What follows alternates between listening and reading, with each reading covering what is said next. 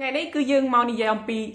W hate question បើសិនជាយើងចង់សួរចង់ប្រើ W hate question តើយើងត្រូវប្រើបែបម៉េចសួរបែបម៉េចថ្ងៃនេះដែរអ្នកគ្រូនាំយក6 W hate question យកប្រាប់អ្នកសិក្សាថា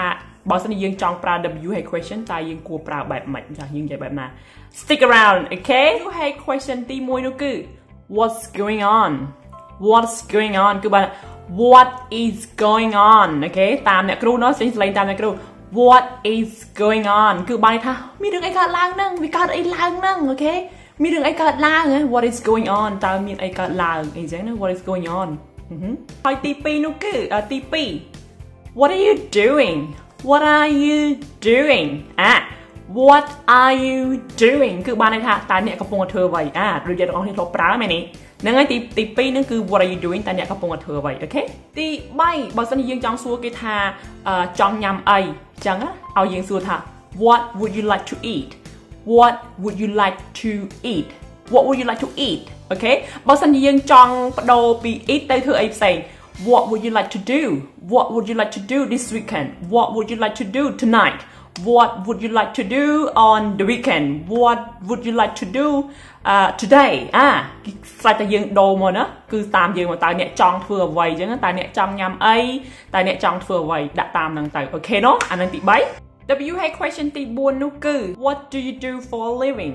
what do you do for a living គឺបានន័យថាតើអ្នកប្រកបការងារអ្វីតើអ្នកមានអាជីពជាអ្វីអូខេណូអានេះគេសួររកអាជីព W hay question ទី5នោះគឺ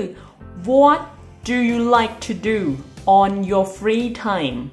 What do you like to do on your free time អាយើងអាច put in ក៏បាន in your free time it doesn't matter okay it doesn't matter គឺបញ្ហាទេ okay អានឹងគឺទី5ទី6នោះគឺ